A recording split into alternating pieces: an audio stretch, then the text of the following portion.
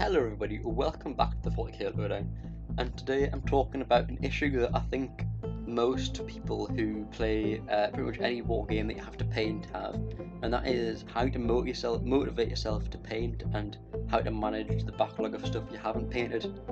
Um, so the first thing, obviously the main thing, is just to sit down and paint. Um, I mean, oh, it might seem simple, but you, no matter how many tips or hints you get, you're never going to be able to get your stuff painted if you don't just sit down and paint your guys. Obviously, there are ways you can uh, help yourself to be able to sit down and paint, and that's what I'm going to talk about in this video. Uh, so, um, the main thing I use to uh, keep us entertained when I'm painting is to listen to an audiobook. Uh, I've started listening to the Horus Heresy series on Audible. Um, Audible's quite good value for the number of audiobooks you can get for the price you pay um, and because I don't paint that much, um, like say if I get a, a 12 hour or whatever, however long a book is, I think the last one it was about 12 hours long. If you get that length of audiobook, that lasts me for a whole month, and then I've got another one the next month. Um, so that the audiobooks really help me, but I know other people like to listen to music or I do like to listen to a podcast sometimes. Um, but uh, if you don't, like, say you're, you're really just yeah you're not you're not motivated to paint. And um, what I do in that situation is I do some basing. Like I'll, I'll stick some sand on, or if I've everyone got their bases on, I'll uh, paint the uh, the bases. Like I, I, on my guard bases, I do grey. On my Skitarii bases, I do orange.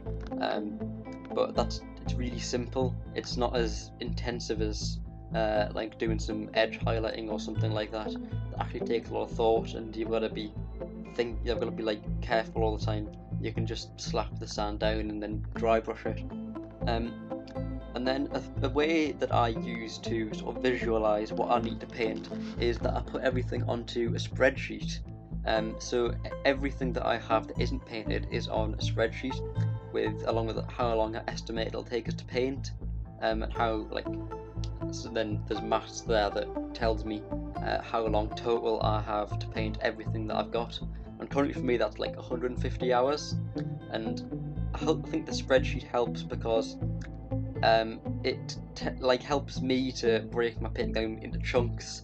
So like I'd like to get everything I've currently got unpainted painted by the end of the year, and by knowing sort of vaguely how long I've got um, to paint, I can sort of work out that I need to paint for about half an hour a day, a bit less, and I think that's helpful for me because I'm sort of numbers based.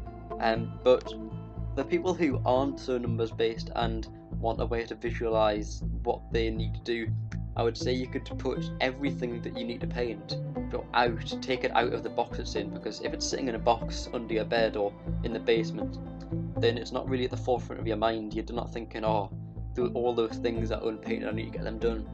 Yeah, looking at them every day and thinking, oh, they'd be great if they were painted.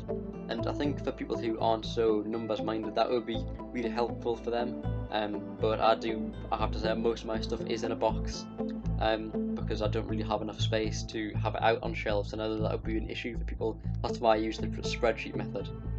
Um, and another thing that is useful when you're doing a long uh, painting session is to just take a break like um, just for five minutes in your like hour long or whatever painting session, just like go downstairs or whatever and have a cup of tea or just like walk around a bit and do something other than um, paint a model.